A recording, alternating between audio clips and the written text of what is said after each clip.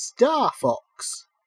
Released in 1993, this revolutionary game was only made possible on the Super Nintendo by using a brand new chip built into the cartridge known as the Super FX chip. This allowed Star Fox to use more power than the SNES was capable of, and as a result, 3D gaming on a console was now a possibility, albeit very limited still. This on-rail space shooter features polygonal 3D graphics with basic textures and a slow frame rate, but for 1993 this was a technical masterpiece and would have blown console gamers' minds, I'm assuming. Sadly, having not played it back in the day, I can only try and imagine how much of an impact this would have had on gamers.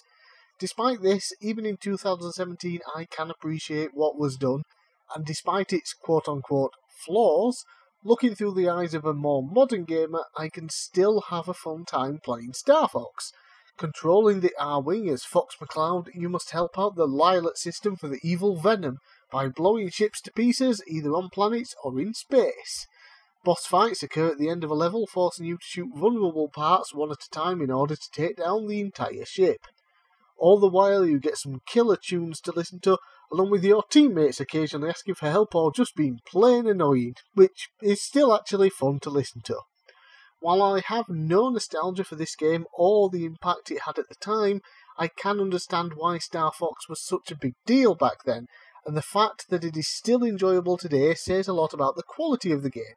Yeah, it might not look the best, and yeah, it is a little slow, but the gameplay is still good, the sound is great, controls are fine, and the overall atmosphere being in space battles is superb.